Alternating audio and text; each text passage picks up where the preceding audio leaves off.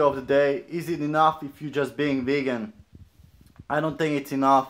The world needs more conscious people to contribute to uh, stopping the slaughter of animals, stopping the pollution, stopping the destruction of the planet, deforestation, you know, stopping the world hunger, all these all these things that meat and dairy are co contributing to. And we're not gonna achieve it if people just are just vegan, you know. We need to step up the game and start to actually promote the veganism on social medias.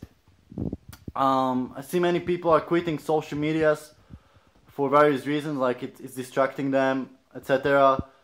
But the social media is the most powerful tool we can have to achieve, to reach people, you know.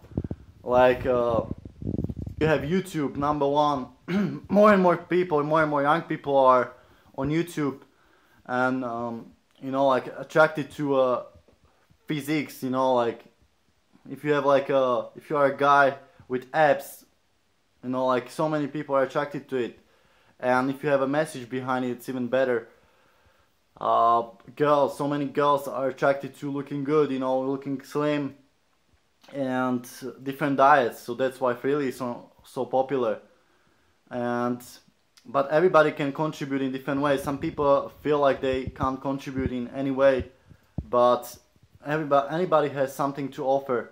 Even me, like you know, like even if you have like 20 views per video, you can. That's it's awesome. People like it's so many people to reach in one video, you know, and um, sometimes you get a video that gets more views, and you can you know you can reach even more people. Then you have Facebook.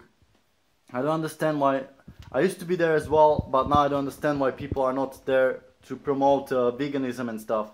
It's so powerful because you have on YouTube you usually have like your subscribers who are usually vegan, but on Facebook you have like you know like friends who are not vegan and they can get inspired. I know many friends who are becoming vegan now, not because of me, because of themselves, but they saw that I was vegan and that encouraged them to like step out the game. Um, but anybody can do this. But understand if you are starting veganism, you are like unsure about this, you're like, you know, like don't know how it is, you're a little bit insecure about it. And I was there too. I was not really spreading the vegan message after only like after I, I started YouTube about one year into veganism and then I really started promoting veganism about the same time but now after two three years I really like started promoting veganism so much more. And there was always some like mm, drawback to it like oh like I don't like my friends to see it whatever on Facebook you know or my family don't want to see some videos.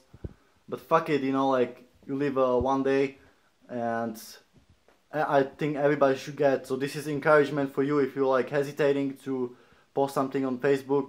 Most people don't post anything because of criticism, and I get you like I didn't want to like get an argument with friends that I see in real life, but at the end of the day, it's about saving animals and not about people's ego. So if anybody has a problem, don't delete their comments, but try to uh, argue in a positive way, and that will make you stronger.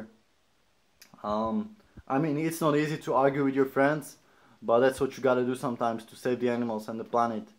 So get out there on Facebook, Instagram, YouTube. Those are the three most popular. Maybe Twitter, and just smash it, smash it every day. Smash like 10 posts on Facebook. I know what's your strongest point. Like I think at the moment I'm getting more response on Facebook, but also YouTube. I'm smashing everything, even Instagram these days. So if you are vegan, especially if you are vegan like for three years or something or more, you have to be smashing the, the content out there. Otherwise, it's not enough and we're not gonna change the world if we just if we just be, you know.